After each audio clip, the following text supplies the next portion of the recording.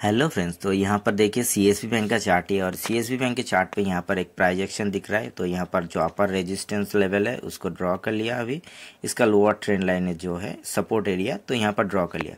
Market यहाँ पर देखिए मार्केट ने कैसे यहाँ पर इस ट्रेंड लाइन को रेस्पेक्ट करके इस चैनल के अंदर मार्केट अभी मूव किया। तो लास्ट जो मोमेंटम यहाँ पर किया, देखिए एक दौजी कैंडल बनाए यहाँ पर एक दौजी कैंडल बनाए अगर एक ग्रीन दौजी बन जाता तो एक अपसाइड के इंटरडे के लिए इस जो, इस जोन को ब्रेकआउट करके ऊपर की तरह अच्छी मूवमेंट मिलता। तो यहाँ पर देखिए, और एक यहाँ पर किया मार्केट ने यहाँ पर एक सपोर्ट बिल्ड किया। ठीक है मार्केट यहाँ से सपोर्ट बिल्ड किया तो मार्केट में यहाँ पर दो कंडीशन यहाँ पर काम कर सकते हैं।